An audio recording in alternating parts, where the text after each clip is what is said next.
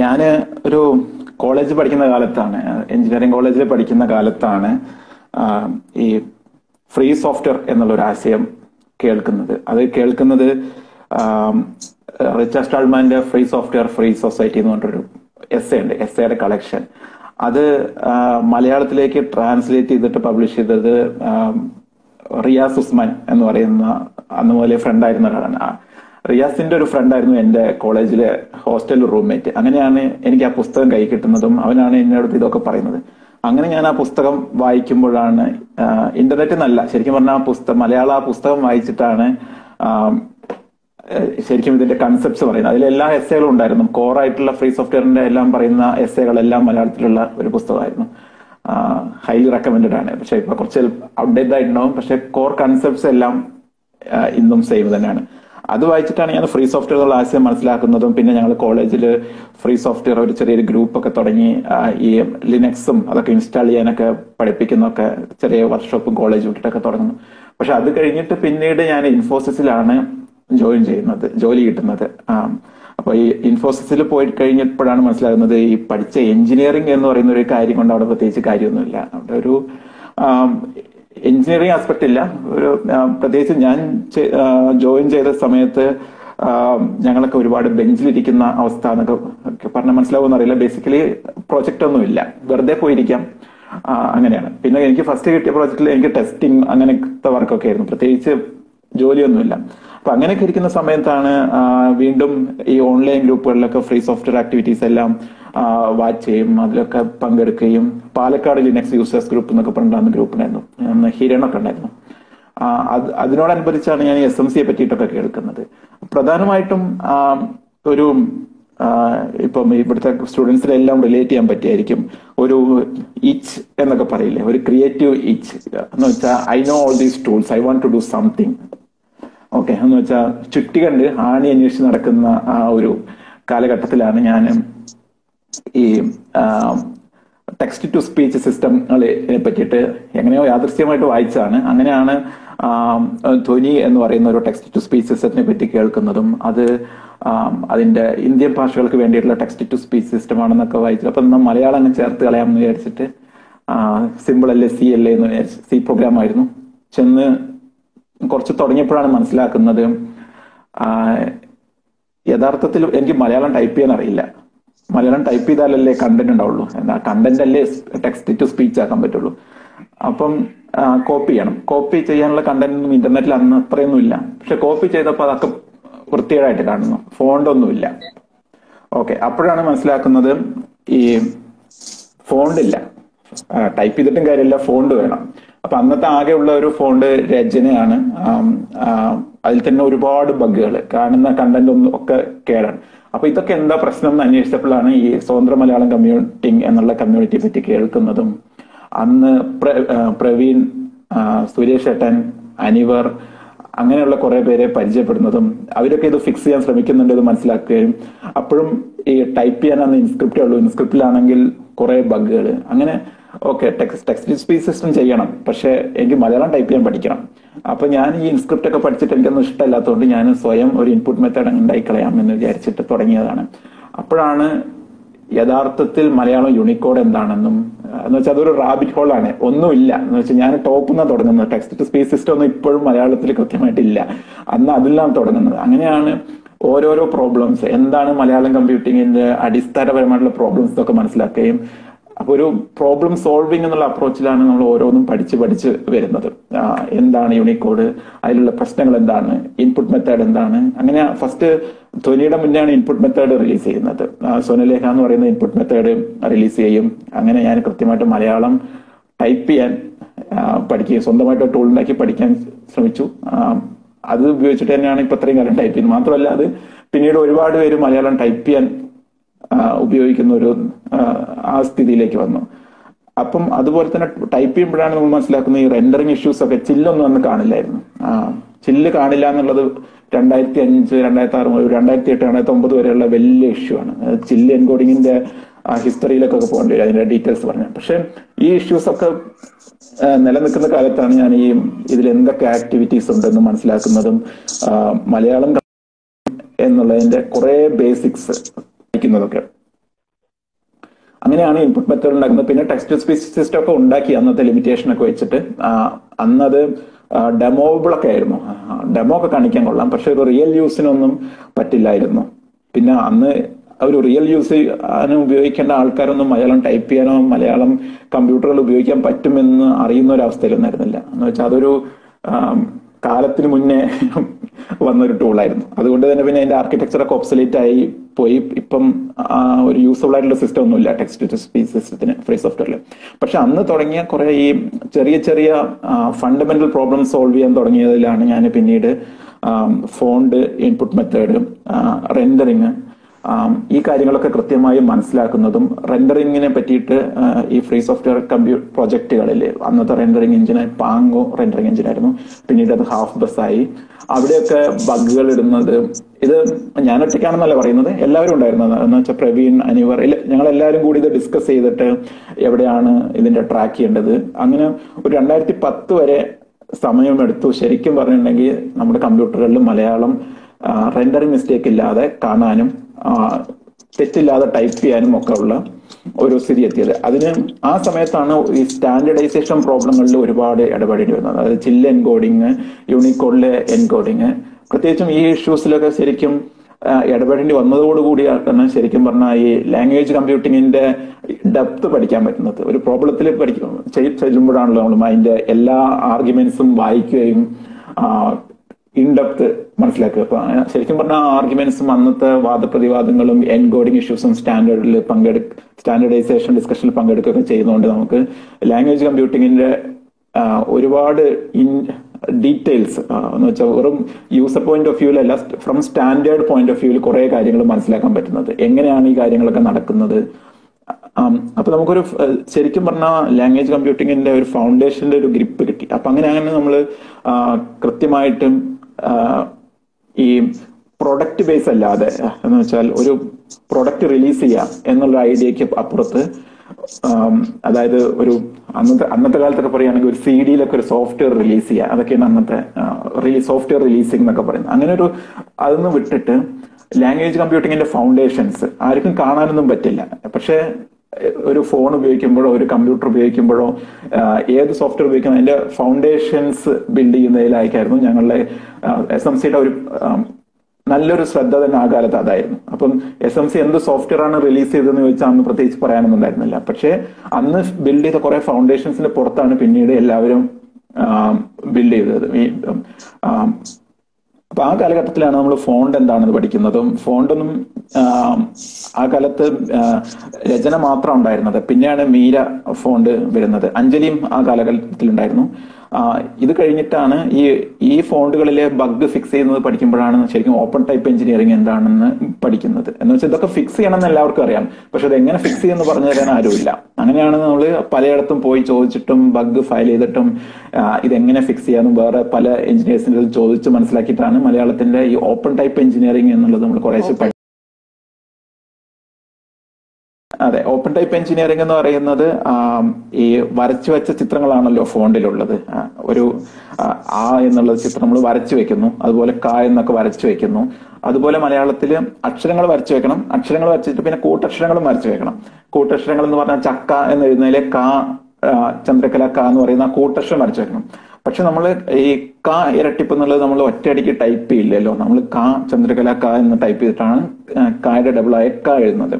പക്ഷെ അങ്ങനെ എഴുതുമ്പം ഈ കായും ചന്ദ്രകലയും കായും ഒക്കെ പാടെ കൂടിച്ചേർന്ന് ഈ ക എന്നുള്ള അതായത് കായുടെ ഇരട്ടിപ്പ് ഉണ്ടാകണം എന്നുള്ളത് ആരെങ്കിലും എവിടെയെങ്കിലും ഒക്കെ എഴുതി വെക്കണമല്ലോ. അത് ഫോണ്ടിനുള്ളിലാണ് നമ്മൾ എഴുതി വെക്കുന്നത്. അതൊരു ഒരു പ്രോഗ്രാമിംഗ് സംബന്ധിച്ച് ഒരു ഇഫ് എൽസ് ലൂപ്പും അങ്ങനത്തെ ഒരു ലോജിക് ആണെന്ന് മനസ്സിലാക്കിയാൽ മതി. അങ്ങനത്തെ ഒരു കുറെ റൂൾസ് ആൻഡ് ടേബിൾസ് ആണ്.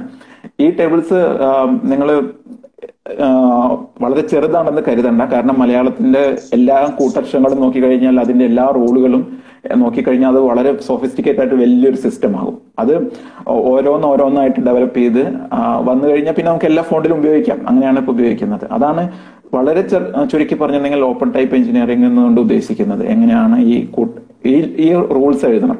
അപ്പൊ ശരിക്കും പറഞ്ഞു കഴിഞ്ഞിട്ടുണ്ടെങ്കിൽ നമ്മൾ മലയാളത്തിലെ ഏതൊക്കെ അക്ഷരങ്ങളുണ്ട് ഏതൊക്കെ കൂട്ടക്ഷരങ്ങളുണ്ട് എന്നെല്ലാം കൃത്യമായിട്ട് പഠിക്കേണ്ട ഒരു സ്ഥിതിയിലേക്ക് വരും. എന്ന് വെച്ചാൽ ഇതെല്ലാം നീഡ് ബേസ്ഡ് ലേണിംഗ് ആണ്. അതാണ് അതിന്റെ ഒരു ഫണ്ണും എന്ന് വെച്ചാൽ ഇതൊന്നും നമ്മൾ കോളേജിൽ പഠിക്കുന്നില്ല. ആ സമയത്തല്ല ഈ സമയത്ത് പോലും ഏത് കോളേജിലും എവിടെയും പഠിപ്പിക്കുന്നില്ല. ഇത് ഏത് കാര്യങ്ങൾ പക്ഷെ ഓരോ തവണയും നമ്മൾ ഐ സിയിൽ ഒരു ചളി വായിക്കുമ്പോഴോ നമ്മൾ ഒരു ചാറ്റ് അയക്കുമ്പോഴോ ഒക്കെ അതിന്റെ പിന്നാമ്പുറത്ത് ഇതെല്ലാം ഡെയിലി ഉപയോഗിക്കപ്പെടുന്നുണ്ട് എന്നുള്ളതാണ് ഇതിന്റെ ഒരു വലിയ തമാശ.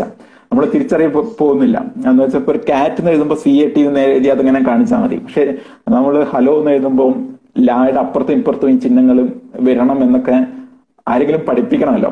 ഇതൊക്കെയാണ് ഫോണ്ടിന്റെ ഉള്ളിലുള്ളത്. ഓപ്പൺ ടൈപ്പ് എഞ്ചിനീയറിംഗ് കൊണ്ട് പറയുന്നത്. അപ്പൊ ഈ ഓപ്പൺ ടൈപ്പ് എഞ്ചിനീയറിംഗ് പഠിക്കുന്നു.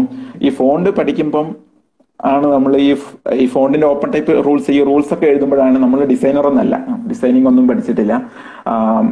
പക്ഷേ ഈ ഈ ഫിക്സ് ചെയ്യും റൂൾസ് ഫിക്സ് ചെയ്യുന്നതോടൊപ്പം നമ്മുടെ സ്ക്രീനിൽ എപ്പോഴും ഉള്ളത് അക്ഷരങ്ങളാണ്. എപ്പോഴും നമ്മൾ ടെസ്റ്റ് ചെയ്യുന്നത് ഈ കൂട്ടക്ഷരങ്ങൾ ഉണ്ടാവുമോ? ഈ ബഗ് എങ്ങനെ ഫിക്സ് ചെയ്യും? പക്ഷെ അതിങ്ങനെ നമ്മുടെ വർഷങ്ങളോളം നമ്മുടെ സ്ക്രീനിൽ ഈ അക്ഷരങ്ങൾ ഇങ്ങനെ വലുതായി നമ്മുടെ സ്ക്രീനിൽ മുന്നിലുണ്ടാകുമ്പോൾ നമ്മൾ കുറേശ്ശെ കുറേശ്ശെ ഈ അക്ഷരങ്ങളുടെ അപ്രീസിയേഷൻ ഇതെങ്ങനെ വരച്ചു? ഇതിന്റെ അളവുകൾ എന്താണ്? ഇത് എന്തുകൊണ്ടാണ് ഇതിനെ അത്ര താഴ്ത്തി വരച്ചിരിക്കുന്നത്? ഇതിന്റെ റേഷ്യോ എന്തുകൊണ്ടാണ്? ഈ കായ എന്താ ഇങ്ങനെ വലുത്? പായുടെ അടിയിൽ ഞാ എഴുതുമ്പോൾ ഞായുടെ സൈസ് എന്തുകൊണ്ട് കുറഞ്ഞു? അത് എന്തുകൊണ്ട് ഇങ്ങോട്ട് നീക്കി വെച്ചില്ല? അങ്ങോട്ട് നീക്കി വെച്ചു എന്നുള്ള കാര്യങ്ങളെല്ലാം നമ്മൾ ഒബ്സർവ് ചെയ്ത് തുടങ്ങുന്നത്. അങ്ങനെയാണ് നിലവിലുള്ള ഫോണ്ടുകൾ നോക്കിയിട്ടാണ് നമ്മൾ ഇതിന്റെ ഈ ഫോണ്ട് ഡിസൈനിങ്ങിന്റെയും അക്ഷരങ്ങളുടെ സൗന്ദര്യവും നമ്മൾ കുറെ മനസ്സിലാക്കാൻ തുടങ്ങുന്നത്. എങ്ങനെയാണ് ഈ വരയ്ക്കുന്നത് എന്നുള്ളത് അപ്പോഴും എനിക്കറിയില്ല. പക്ഷെ ഈ വരച്ചിരിക്കുന്നത് എന്തുകൊണ്ട് ഇങ്ങനെ വരച്ചു എന്ന് ചോദിച്ചാൽ എനിക്ക് പറയാൻ പറ്റുന്ന ഒരു സ്ഥിതിയിലേക്ക് എത്തി. ഇതിന് ആ കാലത്ത് ഈ ഫോണ്ട് ഡിസൈൻ ചെയ്തിരുന്ന ഹുസൈൻ മാഷ് പിന്നെ അതുപോലെയുള്ള കെവിൻ അങ്ങനെ കുറെ പേരുണ്ട്. അവരുടെ അടുത്തൊക്കെ നമുക്ക് ചോദിക്കാം ഇത് എന്തുകൊണ്ട് ഇങ്ങനെ വരച്ചു? എന്താണ് ഇതുകൊണ്ട്? അത് നമുക്ക് സ്പ്ലിറ്റ് ചെയ്യാൻ പറ്റുമോ? ഇല്ലെങ്കിൽ ഇതിന്റെ സൈസ് മാറ്റാൻ പറ്റുമോ? അങ്ങനെയുള്ള കാര്യങ്ങളെല്ലാം നമ്മൾ അങ്ങനെ നോക്കി നോക്കിയിട്ടാണ് പഠിക്കുന്നത്. അങ്ങനെയാണ് നമ്മൾ കുറെ വർഷങ്ങൾക്ക് ശേഷം രണ്ടായിരത്തി പതിനാലിലാണ് എന്നാ ഒന്ന് വരച്ചു നോക്കാം. എന്ന് കരുതിയിട്ട് നമ്മൾ ചിലങ്ക ഫോണ്ടിലേക്കും അത് കഴിഞ്ഞിട്ട് പിന്നെ വലിയൊരു പ്രോജക്റ്റ് ആയിട്ട് മഞ്ചരി ഫോണ്ടിലേക്കും വരുന്നത്. അത് അത് അതിന്റെ ഓരോ ഫോണ്ടിന്റെയും കഥകൾ അത് വേറെ വലിയ വലുതായിട്ട് പറയാനുണ്ടാവും. പക്ഷെ ഞാൻ അതിലേക്ക് കടക്കുന്നില്ല. അതെ അത് വേറൊരു ക്ലാസ് തന്നെ എടുക്കേണ്ടി വരും. പക്ഷെ നമുക്ക് അതിനെപ്പറ്റി പറയാം. നമുക്ക് സ്റ്റുഡൻസിനൊക്കെ വരാവുന്ന ഒരു ഫീൽഡാണ് അത് നമുക്ക് പിന്നീട് പറയാം. പക്ഷെ ഋഷി ചോദിച്ച ചോദ്യത്തിന്റെ കാര്യം എന്ന് പറയുന്നത് ഒരു പേഴ്സണൽ ഇച്ചെന്ന് പിന്നീട് ഒരു വലിയ പ്രോബ്ലം സ്പേസിലേക്ക് കടന്ന് അതിന്റെ ക്യൂരിയോസിറ്റി കൊണ്ടും പിന്നീട് ഇതിന്റെ ഈ ഫീൽഡിന്റെ ഒരു പല ഫ്രീ സോഫ്റ്റ്വെയർ പ്രോജക്റ്റുകളിലും നിങ്ങളൊക്കെ പോകുന്നുണ്ടാകും പക്ഷെ ഈ ഫീൽഡിന് മാത്രമായിട്ടുള്ള ഒരു പ്രത്യേകത എന്ന് പറയുന്നത് ഈ ഇപ്പം ഓപ്പൺ സ്പേസ് അല്ല ഇത് ഈ മലയാളം കമ്പ്യൂട്ടിംഗ് എന്ന് പറയുന്നത് വളരെ കുറച്ച് പേർക്ക് മാത്രം വേണ്ടി ഒരു റിസർവ് ചെയ്ത് വെച്ചിരിക്കുന്ന ഒരു ഏരിയയാണ്. എന്ന് വെച്ചാൽ നിങ്ങൾക്ക് കന്നഡ കമ്പ്യൂട്ടിംഗ് ചെയ്യാൻ പറ്റില്ല. പക്ഷെ നിങ്ങൾക്ക് മലയാളം കമ്പ്യൂട്ടിംഗ് ചെയ്യാൻ പറ്റും. അപ്പം you are not one among that millions of people of develop അങ്ങനെയല്ല. ഇത് നിങ്ങൾ കുറച്ച് ചെറിയൊരു സെറ്റിനുള്ളിലാണ്. അതുകൊണ്ട് തന്നെ ഉണ്ടാകുന്ന ഒരു ഇമ്പാക്ട് എന്ന് പറയുന്നത് നിങ്ങൾ ചെയ്യുന്ന ഓരോ കാര്യവും വളരെ ഇമ്പാക്ട്ഫുൾ ആണ്. വളരെ ചെറിയ ഉദാഹരണം പറഞ്ഞു കഴിഞ്ഞാൽ ഇപ്പൊ ഫോണ്ടുകളൊക്കെ നിങ്ങൾ ആയിരക്കണക്കിന് ഫോണ്ടുകൾ പറ്റി നിങ്ങൾ കേട്ട് കാണും. അപ്പം ഈ ആയിരക്കണക്കിന് ഫോണ്ടുകൾ ഇംഗ്ലീഷിലൊക്കെ ഉണ്ട്. ഇംഗ്ലീഷിന്റെ കാര്യമാണ് പറയുന്നത്. പക്ഷെ അതിലിപ്പോ പുതുതായിട്ട് ഒരാൾ വന്നിട്ട് പുതിയൊരു ഫോണ്ടാണ് ചെയ്തിട്ടുണ്ടെങ്കിൽ ആരും നോട്ട് ചെയ്യാൻ പോകുന്നില്ല. അത് തിരിച്ചറിയാൻ പോലും പറ്റില്ല ബാക്കിയുള്ള ഫോണ്ടുകളുടെ ഇടയിൽ. പക്ഷെ മലയാളത്തിൽ ഇന്ന് നോക്കുകയാണെങ്കിൽ ഏകദേശം രണ്ട് ഡസനോളം ഫോണ്ടാണ് ഉള്ളത്. അപ്പൊ അതിൽ നിങ്ങൾ പുതുതായിട്ടൊരു ഫോണ്ട് ചെയ്യണമെന്ന് വെച്ച് കഴിഞ്ഞിട്ടുണ്ടെങ്കിൽ അതിന് വലിയ ഇമ്പാക്റ്റ് ആണ്. എന്ന് വെച്ചിട്ടുണ്ടെങ്കിൽ വളരെ നോട്ടി വളരെ നോട്ടീസ് ചെയ്യാൻ പറ്റും.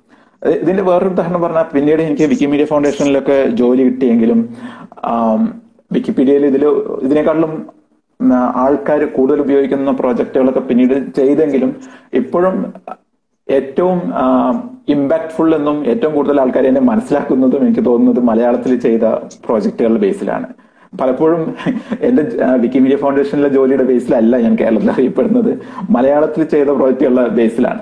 അപ്പൊ അതിന്റെ ഒരു ആ വ്യത്യാസം വരാനുള്ള പ്രധാന കാരണം എന്ന് പറയുന്നത് ഈ വളരെ ക്ലോസ് ആയിട്ടുള്ള ഒരു ഡൊമൈൻ ഉണ്ട്. ഈ ഡൊമൈന്റെ പ്രത്യേകത കൊണ്ട് മാത്രമാണ്. നമുക്ക് നമുക്ക് മാത്രം ചെയ്യാൻ പറ്റുന്നത് ആ പ്രിവിലേജ് നമുക്ക് മാത്രമുള്ള അതേസമയം ആ ഡിമാൻഡ് നമ്മൾ ഈ കേരളത്തിലെ എഞ്ചിനീയറിംഗ് പഠിച്ചവരോട് ആ ഫീൽഡ് ഡിമാൻഡ് ചെയ്യുന്ന കൂടിയുണ്ട് എന്ന് വെച്ചാൽ ഈ ഫീൽഡിലുള്ള സോഫ്റ്റ്വെയർ ഒക്കെ ആരെങ്കിലുമൊക്കെ ഉണ്ടാക്കി തരും എന്ന് കരുതിയിരിക്കാതെ ഇരുന്നിട്ടുണ്ടെങ്കിൽ നമുക്കിതൊന്നും ഉണ്ടാവില്ല.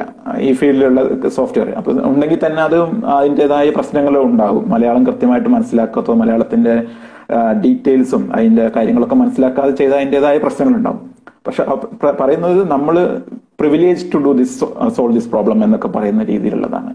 അതാണ് ശരിക്കും പറഞ്ഞു കഴിഞ്ഞാൽ ലാംഗ്വേജ് കമ്പ്യൂട്ടിംഗ് അതും ഒരു നോൺ ഇംഗ്ലീഷ് ലാംഗ്വേജ് കമ്പ്യൂട്ടിങ്ങിന്റെ ഒരു ഗ്ലാമർ എന്നൊക്കെ വേണമെങ്കിൽ പറയാം.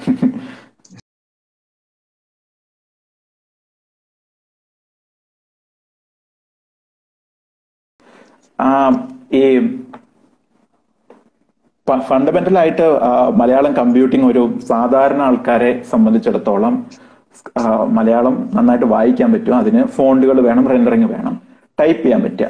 ഇത് രണ്ടും ആണ് ഫൗണ്ടേഷൻ ആയിട്ട് പറഞ്ഞുകൊണ്ടിരുന്നത്. ഇത് രണ്ടും ഞാൻ നമ്മൾ രണ്ടായിരത്തി പത്തിൽ സോൾവ് സോൾവ് ചെയ്താണ് ഏകദേശം രണ്ടായിരത്തി പത്തോട് കൂടി നമ്മൾ സോൾവ് ചെയ്താണ് ടെക്നിക്കൽ പാർട്സ് പക്ഷെ അത് മാസ് ആൾക്കാരിൽ എല്ലാവരിലേക്കും എത്തുന്ന ഒരു സാഹചര്യം വളരെ സ്ലോ ആയിട്ടാണ് ഉണ്ടാകുന്നുള്ളൂ. അതിന് പല കാര്യ- കാരണങ്ങളും ഉണ്ട് ആം, ആ, പ്രത്യേകിച്ചും ഈ ഇംഗ്ലീഷ് അല്ലാത്ത രീതിയിൽ കമ്പ്യൂട്ടർ ഉപയോഗിക്കാൻ പറ്റും. അത് അതൊന്ന് പിന്നെ രണ്ടാമത് ഇതൊക്കെ സാധ്യമാണെന്നുള്ള രീതിയിൽ ഉള്ള ഒരു അറിവ് ഉണ്ടായി വരുന്നേ ഉള്ളൂ. പിന്നെ മൊബൈൽ ഫോൺ ബൂം അതായത് ഒരു രണ്ടായിരത്തി പതിനാല് പതിനഞ്ച് കാലഘട്ടത്തിൽ മൊബൈൽ ഫോണുകളിലും മലയാളം സപ്പോർട്ട് ചെയ്യാൻ തുടങ്ങിയ കാലം മുതലാണ് ഫോണ് തന്നെ കുറെ വരുന്നതും അതിൽ തന്നെ ആൾക്കാർ മനസ്സിലാക്കുന്നതും. അപ്പൊ അതിന്റെ ചെറിയൊരു വ്യത്യാസം ഉണ്ട്. അപ്പൊ അത് ആൾക്കാരിലേക്ക് എത്തിക്കുന്നതാണ് വന്നൊരു ചലഞ്ച് പക്ഷെ അതേസമയം നമ്മൾ ബാക്കിയുള്ള ഫീൽഡിൽ ഒരുപാട് മുന്നോട്ട് പോയിട്ടുണ്ട്. ഒന്ന് ഓപ്പൺ ടൈപ്പ് എഞ്ചിനീയറിങ്ങും ഫോണ്ടും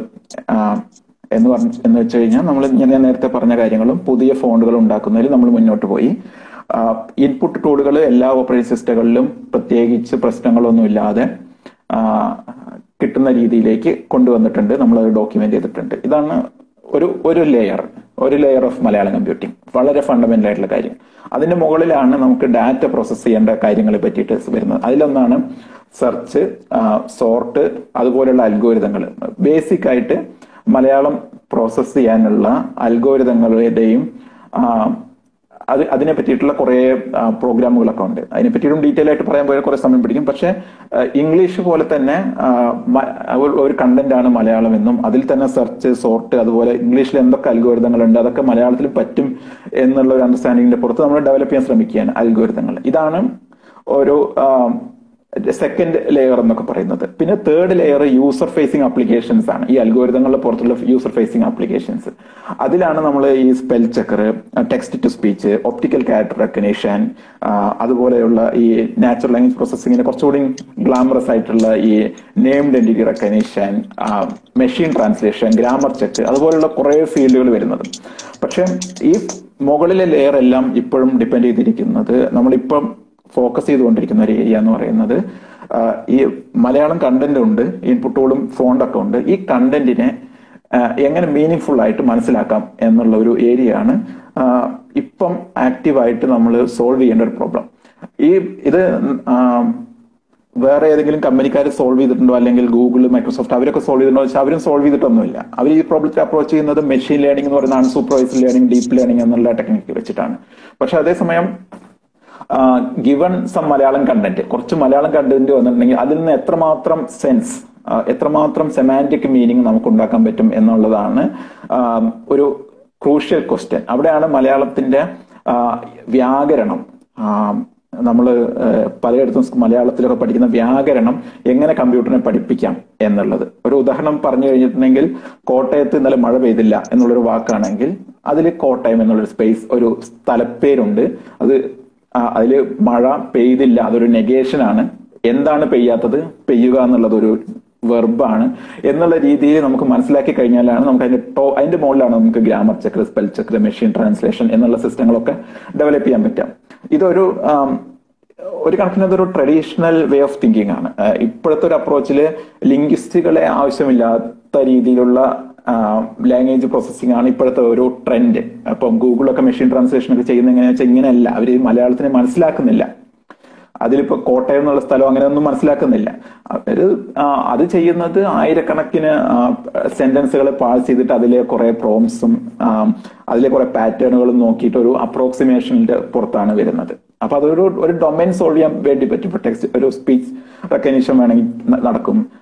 മെഷീൻ ട്രാൻസ്ലേഷൻ വേണമെങ്കിൽ നടക്കും. വിത്ത് ഗിവൺ ഒരു ക്വാളിറ്റിയുടെ ഏറ്റക്കുറച്ചിലനുസരിച്ച് നടക്കും. പക്ഷെ none of them tells anything about the language നമ്മളെ ലാംഗ്വേജിന്റെ ഒരു പ്രോബ്ലവും അതിന്റെ ലിംഗ്വിസ്റ്റിക് സൈഡിൽ സോൾവ് ആവുന്നില്ല. അപ്പൊ ആ ഏരിയയിലാണ് നമ്മളിപ്പോൾ പ്രധാനമായിട്ടും ഫോക്കസ് ചെയ്തിരിക്കുന്നത്. അതിലാണ് നമ്മൾ റിസർച്ച് ചെയ്യുന്നത്. അതിലാണ് മോർഫോളജി അനലൈസർ എന്ന് പറയുന്ന ഇപ്പോഴത്തെ ഓൺ ഗോയിങ് പ്രോജക്റ്റ് അതിപ്പോ ഇംഗ്ലീഷിലാണെങ്കിലും അവരെല്ലാം ഈ മെഷീൻ ലേണിംഗ് ഡീപ്പ് ലേണിംഗ് എന്നുള്ള കാര്യങ്ങളിലേക്കൊക്കെ എത്തുന്നതിന് മുന്നേ അവരും ഈ സ്റ്റേജ് കൂടെ കടന്നിട്ടാണ് ഡീപ്പ് ലേണിംഗിൽ എത്തുന്നത് അപ്പൊ നമുക്ക് ഒറ്റയടിക്ക് ഇംഗ്ലീഷിനെ പോലെയുള്ള ഒരു ഭാഷയ്ക്ക് ഇപ്പോൾ ഉള്ള നാച്ചുറൽ ലാംഗ്വേജ് പ്രോസസ്സിങ്ങിന്റെ കാപ്പബിലിറ്റീസിലേക്ക് നേരിട്ട് എത്താൻ പറ്റുമോ എന്നാണ് എല്ലാവരും ആ, തെറ്റിദ്ധരിക്കുന്നത് അങ്ങനെ എത്താൻ പറ്റുമെന്നാണ് തെറ്റിദ്ധരിക്കുന്നത്. പക്ഷെ അങ്ങനെയല്ല. അതിന് പല കാരണങ്ങൾ കൊണ്ട് ഉണ്ട്. ഒന്നാമത്തെ കാരണം എന്ന് പറയുന്നത് മലയാളം മലയാളം എടുത്തു കഴിഞ്ഞിട്ടുണ്ടെങ്കിൽ നമ്മൾ മലയാളികളായതുകൊണ്ട് നമുക്ക് പലപ്പോഴും തിരിച്ചറിയാൻ പറ്റില്ലായിരിക്കും. പക്ഷെ ലോകത്തിലെ എല്ലാ ഭാഷകളും എടുത്തു കഴിഞ്ഞിട്ടുണ്ടെങ്കിൽ വളരെ സങ്കീർണമായിട്ടുള്ള ഒരു വാചകഘടനയും ഗ്രാമറും ഒക്കെ നിലനിൽക്കുന്ന ഭാഷകളിൽ ഒന്നായിട്ടാണ് മലയാളത്തെ കണക്കാക്കുന്നത്. മലയാളം അടങ്ങുന്ന ദ്രവീഡിയൻ ദ്രാ- ദ്രവീഡിയൻ ഭാഷകൾ തമിഴ് അടങ്ങുന്ന കുറച്ച് ഭാഷകൾ നോർത്ത് ഇന്ത്യൻ ഭാഷകളല്ല ദേവനാഗരി എഴുതുന്ന ഭാഷകളെ പറ്റിയിട്ടല്ല പറയുന്നത്. മലയാളം പോലുള്ള ഭാഷകൾ പിന്നെ ഇതേ കാറ്റഗറിയിലാണ് വരുന്നത് ഫിന്നിഷ് തുർക്കിഷ് ജർമ്മൻ എന്ന് പറയുന്ന കുറച്ച് ഭാഷകൾ typologically complex morphologically complex language എന്നൊക്കെ പറയും. ഇതിന് കാരണം നമുക്ക് നമ്മുടെ വക്കാബുലറി എന്ന് പറയുന്നത് ഇൻഫിനൈറ്റ് ആണ്. ഞാൻ ഈ പ്രോബ്ലം സ്പേസ് എക്സ്പ്ലെയിൻ ചെയ്യാണ്. നമ്മൾ എന്താണ് ഈ മലയാളം കമ്പ്യൂട്ടിങ്ങിൽ ഇപ്പം വലിയൊരു പ്രോഗ്രസ് ഉണ്ടാവാത്തത് എന്ത് ഏരിയയിലാണ് ഇപ്പം ഫോക്കസ് ചെയ്യുന്നത് അതിന്റെ ഇമ്പാക്ട് അതാണ് ഞാൻ ഇപ്പൊ പറഞ്ഞുകൊണ്ടിരിക്കുന്നത്. അപ്പം ഇതിൽ ഈ കോംപ്ലക്സിറ്റി ലാംഗ്വേജിന്റെ കോംപ്ലക്സിറ്റി എന്ന് പറയുന്നത് നാറ്റീവ് മലയാളം സ്പീക്കേഴ്സിന് പെട്ടെന്ന് മനസ്സിലാവില്ല. പക്ഷെ കമ്പ്യൂട്ടറിനെ സംബന്ധിച്ചോളം നമ്മൾ ഇംഗ്ലീഷ് ആയിട്ടൊന്ന് കമ്പയർ ചെയ്താൽ മനസ്സിലാകും. അതിൽ ഒരു ഫൈനൈറ്റ് വക്കാബുലറി ഉള്ള ഒരു ഭാഷയാണ് ഇംഗ്ലീഷ് റിലേറ്റീവ്ലി ഫൈനൈറ്റ് എന്ന് പറയാം. പക്ഷെ മലയാളത്തിനെ സംബന്ധിച്ചിടത്തോളം നമുക്ക് വാക്കുകൾ എത്ര വേണമെങ്കിലും ഉണ്ടാക്കിക്കൊണ്ടേയിരിക്കാം. അല്ലെ? കോവിഡിനെതിരെ എന്ന് പറഞ്ഞൊരു വാക്ക് നോക്ക്. ഇത് ഡിക്ഷണറിയിലുണ്ടോ? ഇല്ല. കോവിഡും ഇല്ല. ഇനിയിപ്പോ എതിരെ കോവിഡ് ഇത് രണ്ട് വാക്കും ഡിക്ഷണറിയിൽ ഉണ്ടെങ്കിൽ കോവിഡിനെതിരെ എന്നുള്ളത് നമ്മൾ ഒരു മൂന്നാൽ മാസം മുന്നേ ഉണ്ടാക്കിയ വാക്കാണ്. നമ്മൾക്ക് വാക്കുകൾ എത്ര വേണമെങ്കിലും ഉണ്ടാക്കിക്കൊണ്ടിരിക്കാം. അപ്പൊ ഈ വാക്കുകൾ ഇങ്ങനെ കൂട്ടിക്കൊണ്ടിരിക്കാം. ഈ കൂട്ടിക്കൊണ്ടിരിക്കുന്നതിനെ നമുക്ക് ഒരു വാക്കുന്ന് വേറൊരു വാക്ക് എല്ലാം കൂടി കൂട്ടിച്ചേർത്ത് പുതിയ പുതിയ വാക്കുകൾ ഉണ്ടാക്കാം. അതാണ് ഈ കവികളൊക്കെ നിറയെ ചെയ്യുന്ന കാര്യങ്ങൾ ഒറ്റ വാക്ക് ഒറ്റ ഒരു വാക്കായിരിക്കും പക്ഷെ അതിനുള്ളിൽ നിറയെ നിറയെ വാക്കുകളുണ്ടാവും. അത് എങ്ങനെ കൂടിച്ചേരുന്നു എന്നുള്ളത് മലയാളിയെ സംബന്ധിച്ചോളം ആരും പഠിപ്പിക്കണ്ട. നമുക്കറിയാം അതെങ്ങനെ കൂട്ടിച്ചേർക്കണം എന്നുള്ളത്. പക്ഷെ ഇതെങ്ങനെ കൂട്ടിച്ചേർന്നു? ഇതിൽ എന്തൊക്കെ വാക്കുകളുണ്ട്? എന്ന് മനസ്സിലാക്കിയാലാണ് നമുക്ക് കമ്പ്യൂട്ടറിനെ സംബന്ധിച്ചോളം കാര്യങ്ങൾ മനസ്സിലാക്കാൻ പറ്റും. അതിനൊരു ചെറിയൊരു ഉദാഹരണം പറഞ്ഞിട്ടുണ്ടെങ്കിൽ ഇപ്പം കോട്ടയത്തേക്കുള്ള ട്രെയിൻ എപ്പോഴാണ്? എത്ര വാക്കുണ്ട് അതിൽ രണ്ട് വാക്കേ ഉള്ളൂ. കോട്ടയത്തേക്കുള്ള ട്രെയിൻ എപ്പോഴാണ്? പക്ഷെ അതിൽ അതിൽ ഒരു ഹൗ അല്ല വെൻ എന്നുള്ള ഒരു ചോദ്യം വരുന്നുണ്ട്.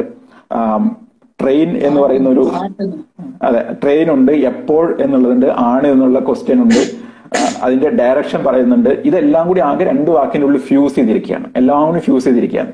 പക്ഷെ ഇതിന്റെ കറസ്പോണ്ടിങ് ഇംഗ്ലീഷ് സെന്റൻസ് നോക്കി കഴിഞ്ഞാൽ നമുക്ക് മനസ്സിലാക്കാൻ പറ്റും. When is the next train to Kottayam അതിലെല്ലാം പീസ് പീസ് ആയിട്ടാണ് കിടക്കുന്നത്. എല്ലാം വേറെ വേറെ കിടക്കുന്നു. നമുക്ക് എല്ലാ വാക്കുകളും സ്പ്ലിറ്റ് ചെയ്തെടുക്കാം. ഒരു പ്രശ്നമില്ല മലയാളത്തിനെ സംബന്ധിച്ചിടത്തോളം ഇതെല്ലാം ഉള്ളിൽ കിടക്കുകയാണ്. ഇനി ഇതിനുള്ളിൽ തന്നെ കോട്ടയത്തേക്കുള്ള എന്നുള്ളത് തന്നെ റീജിയൻ ആയിട്ടുള്ള ഡയലക്ട്സും അങ്ങനത്തെ പ്രശ്നങ്ങളൊക്കെ വരാൻ പറ്റും. പക്ഷെ ഞാൻ പറഞ്ഞു വരുന്നത് ഈ കോംപ്ലക്സിറ്റി അഡ്രസ് ചെയ്യാതെ നമുക്കൊരു സ്പെൽ ചെക്കർ ഒരു ടെക്സ്റ്റ് ടു സ്പീച്ച് സിസ്റ്റം അതിന്റെ പോലുള്ള ഒരു ഹയർ എൻഡ് ആയിട്ടുള്ള ഒരു നാച്ചുറൽ ലാംഗ്വേജ് പ്രോസസ്സിങ് ഒരിക്കലും പറ്റില്ല. അതുകൊണ്ടാണ് ഇംഗ്ലീഷിലെ ബേസ് ചെയ്തിട്ടുള്ള എൻ എൽ പി ലൈബ്രറികളും ടൂളുകളും ഒക്കെ ധാരാളം ഉണ്ടെങ്കിലും അത് നേരെ എടുത്ത് മലയാളത്തിലേക്ക് നമുക്ക് ഉപയോഗിക്കാൻ പറ്റുമെന്ന് പലരും തെറ്റിദ്ധരിച്ചു പോകുന്നുണ്ട്. പക്ഷെ അത് ഉപയോഗിച്ച് തുടങ്ങുമ്പോഴാണ് അതിന്റെ പ്രശ്നം മനസ്സിലാക്കുകയും എവിടെ എത്താതെ നിൽക്കുകയും ചെയ്യുന്നത്. അത് ഈ ഈ ഒരു പ്രശ്നത്തിലാണ് ഞാൻ സാധാരണ കോളേജിലൊക്കെ ക്ലാസ് എടുക്കാൻ പോകുമ്പം പറയാനുള്ള ഒരു കാര്യമാണ്. നമ്മൾ ഈ കോളേജുകളിലൊക്കെ ഹലോ വേൾഡ് ആപ്ലിക്കേഷൻ പറഞ്ഞിട്ടാണ് നമ്മൾ തുടങ്ങുന്നത്. ഏത് പ്രോഗ്രാമിംഗ് ലാംഗ്വേജ് ആണെങ്കിലും ഹലോ വേൾഡ് എഴുതും. പിന്നെ അത് കഴിഞ്ഞ് കുറച്ച് കഴിഞ്ഞാൽ സ്പ്രിങ്ങിലെ ലെങ്ത് നോക്കും. സ്പ്രിങ് കമ്പയർ ചെയ്യുന്നത് നോക്കും. സ്പ്രിങ് സോർട്ട് ചെയ്യും. അങ്ങനെയൊക്കെയാണ് കമ്പ്യൂട്ടർ സയൻസ് സ്റ്റുഡൻസ് എല്ലാവരും പഠിക്കുന്നത്. പക്ഷെ ഈ ഹലോ വേൾഡ് എഴുതുന്ന ഒരു സ്റ്റുഡന്റ് പ്രോഗ്രാമിംഗ് പഠിക്കുന്ന ആൾ ചിലപ്പോൾ ഹലോ വേൾഡ് മാറ്റിയിട്ട് സ്വന്തം പേര് എഴുതി നോക്കും. അത് ഇംഗ്ലീഷിലായിരിക്കും. പക്ഷെ ഒരിക്കൽ പോലും ഞാൻ പലരോടും ചോദിച്ചിട്ടുണ്ട്. ഒരിക്കൽ പോലും ഒരു ക്യൂരിയോസിറ്റിക്ക് വേണ്ടി പോലും സ്വന്തം പേര് അവിടെ മലയാളത്തിൽ എഴുതി വെച്ചിട്ട് അത് പ്രിന്റ് ചെയ്യുമെന്ന് നോക്കിയിട്ടില്ല. അല്ലെ? അപ്പം സീലൊക്കെ ആണെങ്കിൽ മെയിൻ എഴുതും പ്രിന്റ് എഫ് എന്ന് എഴുതിയിട്ട് ഒരു പ്രോഗ്രാം ഒക്കെ എഴുതും. പക്ഷെ ആ സ്ട്രിങ് മലയാളമാകുമോ എന്നുള്ളത് പലരും ആലോചിച്ചിട്ട് പോലുമില്ല. അങ്ങനെ ഒരു അങ്ങനെ ഒരു ചിന്ത വന്നിട്ടേ ഇല്ല. അത് നമ്മുടെ ടെക്സ്റ്റ് ബുക്കിലില്ല ടീച്ചിങ് പ്രോസസ്സിലില്ല എന്തോ കാരണങ്ങൾ കൊണ്ട് സ്റ്റുഡൻസ് നോക്കാറില്ല. ഇപ്പൊ നമ്മൾ ഈ അത് കഴിഞ്ഞിട്ട് നമ്മൾ സോർട്ടിങ് അൽഗോരിതങ്ങളൊക്കെ പഠിക്കുമ്പോൾ കുറെ ഇംഗ്ലീഷ് വാക്ക് എഴുതി സോർട്ട് ചെയ്യും. എന്തുകൊണ്ട് അവിടെ കുറച്ച് മലയാളം വാക്ക് എഴുതിക്കൊണ്ട് എഴുതിയാൽ എന്ത് സംഭവിക്കും? വാട്ട് വിൽ ഹാപ്പൻ ഒരു പ്രോഗ്രാമാറ്റിക് എറർ ആവുമോ? അതെങ്ങനെ ചെയ്യാൻ പറ്റും എന്നുള്ളത് ചിന്തിക്കുന്നില്ല. ശരിക്കും പറഞ്ഞാൽ നിങ്ങളൊരു പ്രോഗ്രാമർ ആവുകയാണ്. പക്ഷെ ഒരിക്കലും നിങ്ങളൊരു മലയാളി പ്രോഗ്രാമർ ആവുന്നില്ല. അപ്പൊ എന്ന് വെച്ചാൽ you are just becoming one among millions of programmers അവിടെയാണ് അവിടെ വെച്ചിട്ടാണ് എനിക്ക് തോന്നുന്നത് നമ്മൾ ഈ ഭാഷയെ ഇഗ്നോർ ചെയ്ത് തുടങ്ങുന്നത്. പിന്നീട് നമുക്ക് ശരിക്കും പറഞ്ഞാൽ എപ്പോഴെങ്കിലും ഈ പ്രോബ്ലത്തിനെ മീറ്റ് ചെയ്യേണ്ടി വരുമ്പോഴാണ് ശരിക്കും ഐ ഓപ്പണിംഗ് ആയിട്ട് നമ്മൾ മനസ്സിലാക്കുന്നത്. ഒരു ഒരു ക്യാരക്ടർ എന്ന് പറഞ്ഞ ഒരു ബൈറ്റ് അല്ല. മലയാളത്തിലെ ആ എന്ന് പറയുന്ന ഒരു ബൈറ്റ് അല്ല. എന്ന് വെച്ചാൽ ബൈ ഒരു ഒരു സ്ട്രിങ്ങിൽ എത്ര ക്യാരക്ടേഴ്സ് ഉണ്ട് നോക്കാൻ വേണ്ടിയിട്ടുണ്ടെങ്കിൽ എത്ര ബൈറ്റ് ഉണ്ട് നോക്കിയാൽ മതി. എന്നുള്ളൊക്കെ എല്ലാ കാര്യങ്ങളും നിങ്ങൾ അൺലേൺ ചെയ്യേണ്ടി വരും അവിടെ.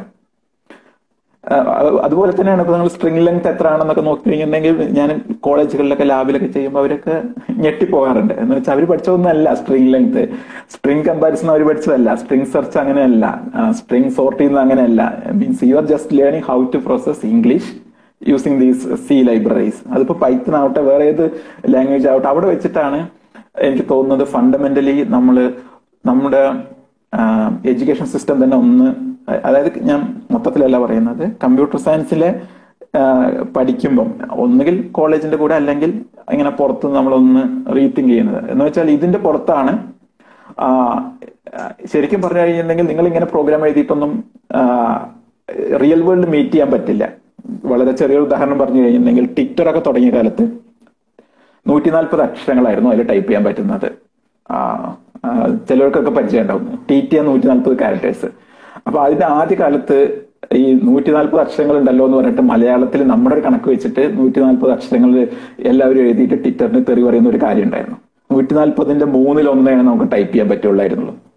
അതിന് കാരണം ട്വിറ്റർ ഒക്കെ ഇപ്പൊ അവർ ഇംഗ്ലീഷ് പോലെ തന്നെ ബൈറ്റ് എണ്ണി തുടങ്ങി. ബൈറ്റ് എണ്ണിയപ്പം മലയാളത്തിന്റെ കാര്യം വരുമ്പോൾ ഒരു അക്ഷരത്തിന് മൂന്ന് ബൈറ്റ് വേണമെന്നുള്ള ചിന്ത ആ ട്വിറ്ററൊക്കെ വളരെ പെട്ടെന്ന് ഫേമസ് ആയ കാലത്തുണ്ടായിരുന്നില്ല. അപ്പം മലയാളത്തിന്റെ എഴുതുമ്പം ഇംഗ്ലീഷുകാർ എഴുതുന്നതിന്റെ മൂന്നിൽ ഒന്നാണ് നമുക്ക് എഴുതാൻ പറ്റിയിരുന്നത്. ഇപ്പൊ നമ്മൾ നെയിം എട്ട് എട്ട് ക്യാരക്ടേഴ്സ് ആണ് നിങ്ങളുടെ നെയിമിൽ എന്റർ ചെയ്യാൻ പറ്റിയ ഒരു യൂസർ നെയിമിൽ എന്ന് പറയും. അത് ബൈറ്റ് വലിച്ച് എണ്ണിയിട്ടുണ്ടെങ്കിൽ നമ്മുടെ പേരിന്റെ ഒരു രണ്ടോ മൂന്ന് രണ്ടക്ഷരം കഴിഞ്ഞാൽ ടൈപ്പ് ചെയ്യാൻ പറ്റില്ല. അപ്പം ഈ റിയൽ വേൾഡ് കാര്യങ്ങളെല്ലാം നമ്മൾ ശരിക്കും ഒരു ഐ ഓപ്പണർ ആണ്. ഒരു ഞാൻ ഇത് കേൾക്കുന്ന എല്ലായിടത്തും പറയുന്നത് just go and write a hello world but not hello world നിങ്ങളുടെ പേര് മലയാളത്തിൽ. അപ്പൊ അത് ശരിക്കും പറഞ്ഞാൽ അതൊരു റാബിറ്റ് ഹോൾ ആവും. അവിടെ വെച്ചിട്ട് നിങ്ങൾ മലയാളത്തെ അക്ഷരമാല പഠിച്ചു തുടങ്ങും. ഏത്? പ്രോഗ്രാമിംഗിലെ അക്ഷരമാല ഡിജിറ്റൽ അക്ഷരമാല പഠിച്ചു തുടങ്ങും. അതാണ് എനിക്ക് പറയാനുള്ളത്. പക്ഷെ പൈത്തൺ ത്രീയിൽ വെച്ചിട്ട് തന്നെ നമ്മളിത് എഴുതിയിട്ട് ഈ പ്രിന്റ് കഴിഞ്ഞിട്ടുള്ള കുറച്ച് കാര്യങ്ങളുണ്ടല്ലോ. ലെങ്ത് അതൊക്കെ പ്രിന്റ് ചെയ്ത് നോക്കുമ്പോഴാണ് how do you explain this length എന്നൊക്കെ വരുന്നത് അല്ലെ? ഇപ്പൊ എന്റെ പേരിൽ ആരെങ്കിലും എന്നോട് ചോദിക്കുകയാണ് എന്റെ പേരിൽ എത്ര അക്ഷരം ഉണ്ട് ചോദിച്ചാൽ നമ്മൾ സന്തോഷ് മൂന്നെണ്ണേ ഉള്ളൂ എന്ന് പറയും. പക്ഷെ അതല്ല നിങ്ങൾ സ്ട്രിംഗ് ലെങ്ത് വെച്ചാൽ കിട്ടുന്നത്. അവിടെ വെച്ചിട്ട് നമ്മൾ മനസ്സിലാക്കാൻ തുടങ്ങും. കമ്പ്യൂട്ടേഷൻ ലിംഗ്വിസ്റ്റിക്സിന്റെ മലയാളം പാർട്ട് മനസ്സിലാക്കാൻ തുടങ്ങും. ഇത് ശരിക്കും പറഞ്ഞാൽ ഇന്ത്യയിൽ നടക്കുന്ന ഒരുപാട് എൻ എൽ പി ഏരിയയിലുള്ള ഒരുപാട് റിസർച്ചുകളിൽ ഇംഗ്ലീഷ് ബേസ്ഡ് ആണ് കാര്യങ്ങളെല്ലാം നടക്കുന്നത്. ഇപ്പൊ കേരളത്തിൽ തന്നെ കമ്പ്യൂട്ടേഷൻ ലിംഗ്വിസ്റ്റിക്സിൽ എം ടെക് ഒക്കെ ഉള്ള കോളേജുകളുണ്ട് ശ്രീകൃഷ്ണവർത്തൊക്കെ ഉണ്ട് പക്ഷെ അതൊക്കെ ഇംഗ്ലീഷ് ബേസ്ഡ് ആണ് പഠിപ്പിക്കുന്നത്. അവിടെ പുറമേ നിന്ന് നമ്മൾ ഇടയ്ക്ക് ക്ലാസ് ഒക്കെ എടുക്കാൻ പോയിട്ട് പഠിപ്പിക്കുന്ന ഇൻട്രൊഡ്യൂസ് ചെയ്യുന്ന കാര്യങ്ങളേ ഉള്ളൂ. അപ്പൊ അവിടെ വെച്ചിട്ടാണ് നമ്മൾ ഈ sentimental analysis machine learning machine translation എന്നുള്ള പ്രോബ്ലംസ് ഒക്കെ അവിടുത്തെ സ്റ്റുഡൻസ് ഓക്കെ നമുക്ക് ഇംഗ്ലീഷിലൊക്കെ ചെയ്തിട്ടുണ്ടല്ലോ അതേ ടൂൾ കിറ്റ് വെച്ചിട്ട് നമുക്ക് മലയാളത്തിൽ ചെയ്ത് നോക്കാമെന്ന് വെച്ചിട്ട് പ്രോജക്റ്റ് ഒക്കെ തുടങ്ങി കുറച്ചാലും കഴിയുമ്പോഴാവും മനസ്സിലാക്കുന്നത് അയ്യോ എനിക്ക് മലയാളം ടൈപ്പ് ചെയ്യാൻ അറിയില്ലല്ലോ എന്നുള്ള ഫസ്റ്റ് നമ്പർ വൺ പ്രോബ്ലത്തിൽ എത്തുകയും ഓക്കെ ടൈപ്പ് ചെയ്യുന്നുണ്ട്. ഇതെന്താ സ്ക്രീനിൽ നേരെ കാണാത്തത്? ഓ ഫോണ്ട് എവിടെ ഫോണ്ട് എന്നുള്ള ആ ഇംഗ്ലീഷിൽ ഒരിക്കലും ചിന്തിക്കേണ്ടി വന്നിട്ടില്ലാത്ത ഈ ഫസ്റ്റ് പ്രോബ്ലംസിൽ ടച്ച് ചെയ്തിട്ട് അവിടെ മാത്രം സ്റ്റക്കായി നിൽക്കുന്ന ഒരു പ്രശ്നമുണ്ടാവും മെയിനായിട്ട് എനിക്ക് തോന്നുന്നത് മലയാളം കമ്പ്യൂട്ടിങ്ങിൽ നമ്മൾ ഒരു ഒരു ഭാഗത്ത് ഇങ്ങനത്തെ പ്രോഗ്രസ് ഒക്കെ നടക്കുന്നുണ്ട്. ഹൈ എൻഡ് കാര്യങ്ങൾ കാര്യങ്ങളിലേക്കുള്ള പാത്തിൽ നമ്മളൊക്കെ വർക്ക് ചെയ്യുന്നുണ്ട്. മോർഫോളജി അനലൈസർ അതുപോലെയുള്ള കാര്യങ്ങളൊക്കെ റിസർച്ച് ചെയ്യുന്നുണ്ട്. പക്ഷെ വേറൊരു എൻഡിൽ ഇതിനെ കംപ്ലീറ്റ്ലി അണ്ടർ എസ്റ്റിമേറ്റ് ചെയ്യുന്ന ഒരു trend among programmers and developers റിസർച്ചേഴ്സിന്റെ ഇടയിൽ നിലനിൽക്കുന്നുണ്ട്. Basically thinking that this is similar to English this is a solve problem in English so I can just use it for Malayalam എന്നുള്ള ഒരു ചിന്ത നിലനിൽക്കുന്നുണ്ട്. ഇത് ഇതാണ് മലയാളം കമ്പ്യൂട്ടിങ്ങിൽ ഇപ്പോഴുള്ള ഒരു ചലഞ്ച് പക്ഷെ എന്റെ ഇപ്പോഴത്തെ ഒരു ഫോക്കസ് അല്ലെങ്കിൽ എസ് എം സി തന്നെ ഇപ്പം ഫോക്കസ് ചെയ്യുന്നത് പതിയെ പതിയെ എനിക്ക് തോന്നുന്നു ഇത് കഴിഞ്ഞ രണ്ട് ഇന്റർവ്യൂകളിലൊക്കെ പറഞ്ഞു എന്ന് തോന്നുന്നു. യൂസർ ബേസ് വളരെയധികം കൂടിക്കൊണ്ടിരിക്കുന്നുണ്ട് മലയാളം കമ്പ്യൂട്ടിങ്ങിന്റെ അത് എൻഡ് എന്റെ യൂസേഴ്സ് ആവാം അല്ലെങ്കിൽ മലയാളം കമ്പ്യൂട്ടിംഗ് എന്തെങ്കിലും കാര്യത്തിന് ഉപയോഗിക്കുന്ന ആവാം ഇവരൊക്കെ പെട്ടെന്ന് ഡിസ്കവർ ചെയ്യുന്നുണ്ട്. ഇപ്പം എസ് എം സി ഒക്കെ ഒരു പത്ത് കൊല്ലമായിട്ട് ചെയ്തിട്ട് വലിയ യൂസർ ബേസ് ഒന്നും കിട്ടാത്തത് ഇപ്പൊ പെട്ടെന്ന് ഓ ഇതെല്ലാം ഉണ്ട് ഇതൊക്കെ ചെയ്തു വെച്ചിട്ടുണ്ട് ഇതൊക്കെ എങ്ങനെ ഉപയോഗിക്കാം എന്നുള്ള കാര്യത്തിൽ നമുക്ക് ഒരുപാട് ചോദ്യങ്ങൾ വരുന്നുണ്ട് ഒരുപാട് സംശയങ്ങൾ വരുന്നുണ്ട്.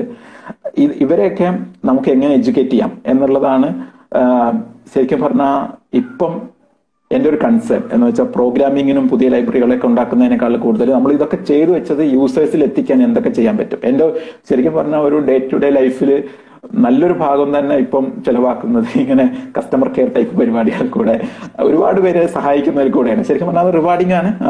പക്ഷെ അതേസമയം അത് സ്കെയിലപ്പ് ചെയ്യില്ല. അപ്പോൾ ഈ ഒരു ഡിജിറ്റൽ ലിറ്ററസി അതുപോലുള്ള രീതിയിലൊക്കെ പരിപാടികളൊക്കെ നമുക്ക് വേണ്ടി വരും. അത് പക്ഷേ വേറൊരു സൈഡാണ് നമ്മൾ ടെക്നോളജിക്കൽ സൈഡല്ല ഇതിന്റെ ഒരു യൂസർ ബേസിനെ നമുക്ക് എങ്ങനെ മീറ്റ് ചെയ്യാൻ പറ്റും എന്നുള്ള ഒരു അതിലാണ് എനിക്ക് വലിയൊരു കൺസേൺ ഉള്ളത്. സെക്കൻഡ് ഈ വളർന്നു വരുന്ന കേരളത്തിലെ എഞ്ചിനീയറിംഗ് സ്റ്റുഡൻസ് ഇപ്പോഴത്തെ എഞ്ചിനീയറിംഗ് സ്റ്റുഡൻസ് അല്ലെങ്കിൽ എഞ്ചിനീയറിംഗ് പ്രാക്ടീസ് ചെയ്യുന്നവര് ഇവരിലേക്ക് ഈ മലയാളം കമ്പ്യൂട്ടിങ്ങിന്റെ ബേസിക്സ് എത്തിക്കാൻ പറ്റുന്ന എന്തെങ്കിലുമൊക്കെ നമുക്ക് ഡോക്യുമെന്റേഷൻ ആയിട്ടോ ഇപ്പം ഇപ്പൊ ഇപ്പൊ ഈ പരിപാടി തന്നെ ശരിക്കും പറഞ്ഞാൽ നല്ലൊരു ചില ചിലർക്ക് പുതുതായ കുറെ കാര്യങ്ങളായിരിക്കാം.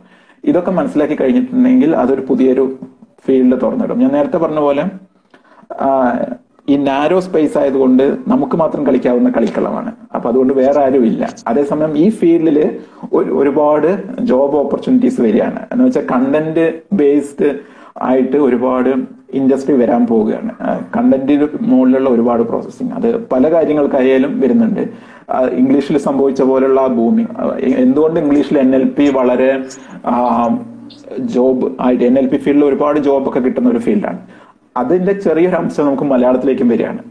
അപ്പൊ ഇവിടെ ഒരുപാട് ഓപ്പർച്യൂണിറ്റീസ് വരാൻ പോവാണ്. ഇപ്പോഴത്തെ ഇൻഫോർടൈൻമെന്റ് ഏരിയയിൽ ഇൻഫോർടൈൻമെന്റ് ഏരിയയിൽ ഈ മലയാളം കണ്ടന്റ് യൂസേഴ്സിന് പ്രസന്റ് ചെയ്യാന്നുള്ള ഏരിയയിൽ ഇതിന്റെ ഒരുപാട് ആസ്പെക്ട്സ് വരുന്നുണ്ട്. പിന്നെ ന്യൂസ് മുതലായിട്ടുള്ള കണ്ടന്റ് പ്രസന്റ് ചെയ്യുന്ന കാര്യങ്ങളിൽ പിന്നെ മൂന്നാമത് കമ്മ്യൂണിക്കേഷൻ ഉള്ള കാര്യങ്ങളിൽ പിന്നെ നാലാമത് ഇതിന്റെയൊക്കെ മുകളിലുള്ള ഡാറ്റ പ്രോസസ്സിംഗ് വഴി ഡാറ്റ ഇന്റലിജൻസ് അതുപോലുള്ള കാര്യങ്ങൾ. അപ്പൊ ഈ കോവിഡിന്റെ കാലത്തും ഇതൊക്കെ വരുന്നുണ്ട്. ഒരു ചെറിയൊരു ഉദാഹരണം പറഞ്ഞു കഴിഞ്ഞിട്ടുണ്ടെങ്കിൽ ഒരു വോട്ടർ പട്ടിക വോട്ടർ പട്ടിക മലയാളത്തിലുണ്ട്. ഈ മലയാളത്തിലെ വോട്ടർ പട്ടിക നിന്ന് ഒരു പേര് കണ്ടുപിടിക്കണം. വളരെ സിമ്പിൾ ആയിട്ടുള്ള ഒരു പ്രശ്നമായിട്ട് നമ്മൾ വിചാരിക്കും ഒരു പ്രോഗ്രാമർ പക്ഷെ അങ്ങനെയല്ല. അത് എത്രമാത്രം സങ്കീർണമാണെന്ന് അറിയാൻ. ജസ്റ്റ് പറയുവാണെങ്കിൽ നിങ്ങൾ നിങ്ങളുടെ കൂട്ടുകാരെ ഒരു പത്ത് പേര് പേര് എഴുതിയിട്ട് അതിലൊന്ന് സെർച്ച് ചെയ്ത് നോക്കൂ. ഒരു ചെറിയ പ്രോഗ്രാം എഴുതി നോക്കും അപ്പൊ മനസ്സിലാവും. സിയിലാവട്ടെ ഏതെങ്കിലും ഒരു പ്രോഗ്രാമിംഗ് ലാംഗ്വേജിലാവട്ടെ അപ്പൊ മനസ്സിലാവും അതിന്റെ കോംപ്ലക്സിറ്റി അതിൽ തന്നെ സ്റ്റാൻഡേർഡൈസേഷനിൽ വന്നിട്ടുള്ള കുറെ കാര്യങ്ങളുണ്ട്. കുറെ ഡീറ്റെയിൽസ് എങ്ങനെ ചില്ല എഴുതാം അതിന്റെ തന്നെ പല ഫോമുകൾ എങ്ങനെ ഇന്ത്യ എഴുതാം അങ്ങനത്തെ കുറെ കാര്യങ്ങൾ.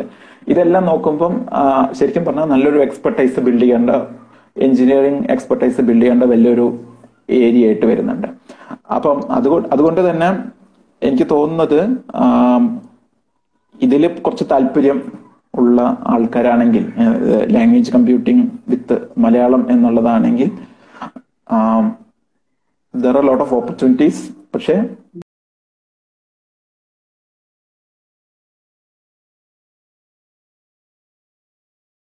അതെ അതെ അതെ. ഈ കുറെ കാര്യങ്ങൾ അതായത് ഇംഗ്ലീഷിൽ നിന്ന് നമ്മൾ ഇംഗ്ലീഷ് കമ്പ്യൂട്ടിംഗ് അൺലേൺ ചെയ്തിട്ട് റീലേൺ ചെയ്യുന്ന മലയാളത്തിലെ കുറെ കാര്യങ്ങളുണ്ടല്ലോ. ഇത് നോൺ ലാറ്റിൻ ഭാഷകൾക്കെല്ലാം സെയിം ആണ്. പ്രത്യേകിച്ചും ഞാൻ വിക്കിമീഡിയ ഫൗണ്ടേഷനിലാണ് ഇപ്പോൾ വർക്ക് ചെയ്യുന്നത്. നേരത്തെ പറഞ്ഞല്ലോ. വിക്കിമീഡിയ ഫൗണ്ടേഷനിൽ ഏകദേശം മുന്നൂറ് ഭാഷകളുടെ ഏകദേശം അതിന്റെ ചുമതല ഉണ്ട് എനിക്ക് അതിന്റെ ലാംഗ്വേജ് എഞ്ചിനീയറിംഗ് അപ്പൊ അവിടെയൊക്കെ നമ്മൾ മനസ്സിലാക്കുന്ന ഒരു കാര്യം എന്ന് പറയുന്നത് ഈ അൺലേണിംഗ് ആൻഡ് റീലേണിംഗ് ഉണ്ടല്ലോ. അതാണ് എന്നെ ശരിക്കും സഹായിച്ചിട്ടുള്ളത്. ഈ ഏറ്റവും കോംപ്ലക്സ് ആയിട്ടുള്ള ഒരു ഭാഷ പഠിക്കുമ്പോഴാണ് നമ്മൾ നമുക്ക് ബാക്കി ഭാഷകളുടെ കാര്യങ്ങൾ പെട്ടെന്ന് മനസ്സിലാക്കാനും ഇംഗ്ലീഷ് പോലെ തന്നെ അല്ല നമുക്ക് കൂടുതൽ റിലേറ്റ് ചെയ്യാൻ പറ്റുന്നത് ആ ഭാഷകളൊക്കെ റിലേറ്റ് ചെയ്യാൻ പറ്റുന്നത് മലയാളത്തിനോടാണ് ഇംഗ്ലീഷിനോടല്ല അതിന്റെ കോംപ്ലക്സിറ്റീസ് ഇംഗ്ലീഷ് ബേസ്ഡ് കാര്യങ്ങളല്ല പറയുന്നത് നോൺ ഇംഗ്ലീഷ് ഭാഷകളുടെ കാര്യത്തിൽ ഇത് നമുക്ക് എല്ലാ ഭാഷകളിലും അപ്ലൈ ചെയ്യാൻ പറ്റും കുറെ കാര്യങ്ങൾ എന്ന് വെച്ചാൽ ഇപ്പൊ യൂണിക്കോഡ് അതിന്റെ ഓപ്പൺ ടൈപ്പ് അതിന്റെ ലീഗേച്ചർ ക്ലസ്റ്റർ ഇതെല്ലാം ഈ കാര്യങ്ങളെല്ലാം മനസ്സിലാക്കുമ്പോൾ നമുക്ക് പെട്ടെന്ന് തന്നെ കോംപ്ലക്സ് സ്ക്രിപ്റ്റുള്ള ബാക്കി ഭാഷകൾ കൂടി നമുക്കൊരു ഓപ്പൺ സ്പേസ് കിട്ടുകയാണ് ഞാൻ നേരത്തെ പറഞ്ഞത് ഏർലി എന്നുള്ള ഒരു അഡ്വാന്റേജ് നമുക്ക് ഈ ഫീൽഡിൽ കിട്ടും എന്നാണ് പറയുന്നത്. ഈ ആദ്യമായിട്ട് ഈ ഫീൽഡിൽ വരുന്നതിന്റെ കുറെ അഡ്വാന്റേജ് എല്ലാവർക്കും കിട്ടും. കാരണം പെട്ടെന്ന് തന്നെ ഡിമാൻഡ് കൂടാനും അതേസമയം ആരും ഈ ഫീൽഡിൽ ഇല്ലാത്തതും പ്രത്യേകിച്ച് എഡ്യൂക്കേഷൻ ഫീൽഡിൽ ഇങ്ങനെ ഒരു കോഴ്സ് ഒന്നും ഇല്ല. മലയാളം കമ്പ്യൂട്ടിംഗ് എന്നുള്ളത് ആരും പഠിപ്പിക്കുന്നില്ല. പക്ഷെ അതേസമയം ഡേ ടു ഡേ ലൈഫിൽ നമ്മൾ എല്ലാവരും ഉപയോഗിക്കുന്നുണ്ട്. ഒരു ഉദാഹരണത്തിന് നിങ്ങൾ രാവിലെ എണീച്ചിട്ട് ഐ സിയിൽ ഒരു ചളി വായിക്കുന്നുണ്ടെങ്കിൽ അതിന്റെ ബാക്കിൽ മലയാളം കമ്പ്യൂട്ടിംഗ് വർക്ക് ചെയ്യുന്നുണ്ട്. അതിന്റെ ബാക്കിൽ ഒരു മലയാളം ഫോണ്ട് ഉണ്ട്. ആർക്കോ ടൈപ്പ് ചെയ്യാൻ പറ്റുന്നുണ്ട്. ആ മലയാളം കൃത്യമായിട്ട് റെൻഡർ ചെയ്യുന്നുണ്ട്. എന്ന് വെച്ചാൽ ഒരു ഒരു നിങ്ങളുടെ രാവിലെ ഒരു ചിരിയുടെ പിന്നിൽ എസ് എം സിയുടെയും കുറെ ഫോണ്ട് ഡെവലപ്പേഴ്സിന്റെയും ഇൻപുട്ട് ടൂളുകളുടെയും ഒക്കെ ഒരു എഫർട്ട് ഉണ്ട്. പക്ഷെ അത് തന്നെയാണ് ഒരു രസവും ശരിക്കും പറഞ്ഞാൽ. ഈ ഫീൽഡിലുള്ള ശരിക്കും ഞാൻ പറഞ്ഞല്ലോ നേരത്തെ ബാക്കി ഏത് പ്രോജക്റ്റ് ചെയ്താലും നിങ്ങൾക്ക് ഇങ്ങനത്തെ ഒരു ഹാപ്പിനെസ് ഒരു സാറ്റിസ്ഫാക്ഷൻ കിട്ടില്ല. നിങ്ങൾ രാവിലെ എഴുന്നേറ്റ് നിങ്ങൾ പത്രത്തിലോ പുറത്തെവിടെയോ നോക്കുക അല്ലെങ്കിൽ മൊബൈലിൽ തന്നെ നോക്കുകയാണെങ്കിൽ നമ്മൾ ചെയ്ത വർക്ക് ആൾക്കാർ ഉപയോഗിച്ചുകൊണ്ടേയിരിക്കുന്നു. വിത്തൗട്ട് നോയിങ് അതാണ് അതിന്റെ ഒരു രസം.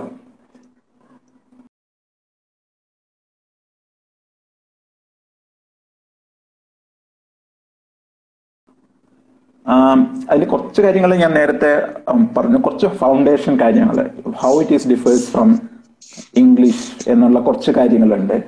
അതിന്റെ കാര്യങ്ങൾ വളരെ ബുദ്ധിമുട്ടൊന്നുമല്ല പഠിക്കാനുള്ളത്. കുറച്ച് കാര്യങ്ങൾ നമ്മൾ കുറെ കാലം മനസ്സിൽ കൊണ്ടുവന്ന് നടന്നിട്ടുള്ള ഈ സ്ട്രിങ് എന്താണ് ഡാറ്റ എന്താണെന്നുള്ള കുറച്ച് കാര്യങ്ങൾ ഒന്ന് ഒന്ന് അഡ്ജസ്റ്റ് ചെയ്യേണ്ടി വരും നമ്മൾ മനസ്സിലാക്കൽ അതൊന്ന് അഡ്ജസ്റ്റ് ചെയ്ത് കഴിഞ്ഞാൽ പിന്നെ പിന്നെ നമ്മുടെ വലിയ ഒരു നമ്മുടെ ക്യാപിറ്റൽ എന്ന് പറയുന്നത് നമ്മുടെ ഭാഷയെ പറ്റി നമുക്കുള്ള അറിവാണ്. അത് വേറെ ആർക്കും ഇല്ലാത്ത നമുക്ക് മാത്രമുള്ള ഈ അറിവിന്റെ മുകളിൽ നിങ്ങൾക്ക് ബിൽഡപ്പ് ചെയ്യാൻ പറ്റും.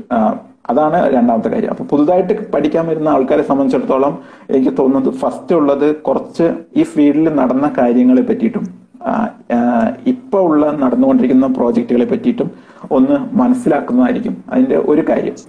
അതിൽ തന്നെ പലപ്പോഴും ആൾക്കാരെ തെറ്റിദ്ധരിച്ച് പോകുന്ന ഒരു കാര്യം മലയാളം ടൈപ്പ് ചെയ്യുക മലയാളം വായിക്കാൻ അറിയുക കമ്പ്യൂട്ടർ ഉപയോഗിക്കാൻ അറിയുക എന്ന് പറയുന്നത് ഒരു എൻഡ് യൂസറിന് മാത്രമല്ല ഒരു ഡെവലപ്പറിനും ഫസ്റ്റ് പഠിക്കേണ്ട കുറച്ച് കാര്യങ്ങളാണ്. പലപ്പോഴും നമ്മൾ മലയാള എഴുത്തൊക്കെ പണ്ടേ നിർത്തി കാണും. അപ്പം മലയാളം എഴുത്താനല്ല പറയുന്നത് ടൈപ്പ് ചെയ്യാൻ ഒക്കെ പഠിക്കേണ്ട ഒരു യൂസർ ആവുക എന്നുള്ളതാണ് ഞാൻ പറഞ്ഞു വരുന്നതാണ് ഒരു ഫസ്റ്റ് യൂസർ ആവുക. മലയാളത്തിൽ നമ്മൾ ടൈപ്പ് ചെയ്യാൻ മലയാളം കണ്ടന്റ് കമ്പ്യൂട്ടറുകളിലൊക്കെ ഉപയോഗിക്കുന്ന ഒരു യൂസർ ഇന്നലെ ലോക്കലൈസേഷനെ പറ്റി പറഞ്ഞിരുന്നു. പലപ്പോഴും അറിവില്ലാത്ത കാര്യവും നമ്മുടെ ആപ്ലിക്കേഷൻ സോഫ്റ്റ്വെയർ എല്ലാം മലയാളത്തിൽ ഉപയോഗിക്കാമെന്ന് നിങ്ങൾക്ക് അതിന്റെ ആവശ്യം ഉണ്ടാവില്ല പക്ഷെ ആ അറിവ് വളരെ ഇമ്പോർട്ടന്റ് ആണ്. ഈ യൂസ് ചെയ്യാം പിന്നെ അതിനുശേഷം നമുക്ക് ഇപ്പോഴത്തെ പ്രോജക്റ്റുകളും ഇപ്പോഴത്തെ ചാലഞ്ചിനെ പറ്റിയിട്ടും നമ്മൾ എസ് എം സി പരമാവധി ഡോക്യുമെന്റ് ചെയ്യാൻ ശ്രമിക്കുന്നുണ്ട്. ഇതെല്ലാം മനസ്സിലാക്കാം. ഇത്രയും കാര്യങ്ങൾ ചെയ്തു വരുമ്പോൾ തന്നെ ഒരു എനിക്ക് തോന്നുന്നത് മിക്കവർക്കും ഉണ്ടാവും ആ ഒരു ദ ഇച്ച് ടു സോൾവ് സം പ്രോബ്ലം ഞാൻ ഞാൻ സാധാരണ രീതിയിൽ ഈ ഫ്രീ സോഫ്റ്റ്വെയർ ഫിലോസഫിയോ അല്ലെങ്കിൽ അതിനെക്കാട്ടിലൊക്കെ ഏറ്റവും കൂടുതൽ എഫക്റ്റീവ് എന്ന് പറയുന്നത് try to solve a problem that is most important you അത് നമ്മളെ ബെസ്റ്റ് സൊല്യൂഷനിലേക്ക് നയിക്കും. എങ്ങനെ ബെസ്റ്റ് എങ്ങനെയാണ് ഇത് ബെസ്റ്റ് ലേൺ ചെയ്യാം എന്നുള്ള പ്രാക്ടിക്കൽ പ്രോബ്ലത്തിലേക്ക് നയിക്കും. ഇതൊക്കെ നയിക്കുമ്പോൾ നമ്മൾ അറിയാതെ തന്നെ നമ്മൾ ഫ്രീ സോഫ്റ്റ്വെയർ എന്താണെന്നും ഫ്രീ സോഫ്റ്റ്വെയറിന്റെ കാര്യങ്ങളെല്ലാം നമ്മൾ അറിയാതെ തന്നെ പഠിച്ചുകൊള്ളും. എന്താണ് കമ്മ്യൂണിറ്റി എന്ന് എങ്ങനെ ക്വസ്റ്റിനെ ചോദിക്കാം എന്നുള്ളത്. ഞാൻ പറയാതെ കാരണം ഇത് പറയാൻ കാരണം ഞാൻ ഈ ഫ്രീ സോഫ്റ്റ്വെയർ കമ്മ്യൂണിറ്റിയിലേക്ക് എത്തിയതും ഫ്രീ സോഫ്റ്റ്വെയറിന്റെ കമ്മ്യൂണിറ്റികളിലെ പ്രാക്ടീസ് എല്ലാം ശരിക്കും മനസ്സിലാക്കുന്നതും ഒരു പ്രോബ്ലം സോൾവ് ചെയ്യാൻ ശ്രമിച്ചിട്ടാണ്. അങ്ങനെയാണ് എനിക്ക് തോന്നുന്നത് ഇതിലെ ടെക്നോളജി ആയാലും പ്രോഗ്രാമിംഗ് ലാംഗ്വേജ് ആയാലും അതുപോലുള്ള എല്ലാ ഡീറ്റെയിൽസും നിങ്ങൾക്ക് പെട്ടെന്ന് മനസ്സിലാക്കാൻ പറ്റുന്നത് try to solve a problem അത് യൂസേഴ്സിന് ഇമ്പാക്ട് ഉണ്ടാവണമെന്നൊന്നുമില്ല. ജസ്റ്റ് ഫോർ ഫൺ അതാണ് ഒന്ന് ശ്രമിച്ചു നോക്കിയാൽ നിങ്ങൾക്ക് ഒരു കാര്യം ഒരുപാട് കാര്യങ്ങൾ പഠിക്കാൻ പറ്റും.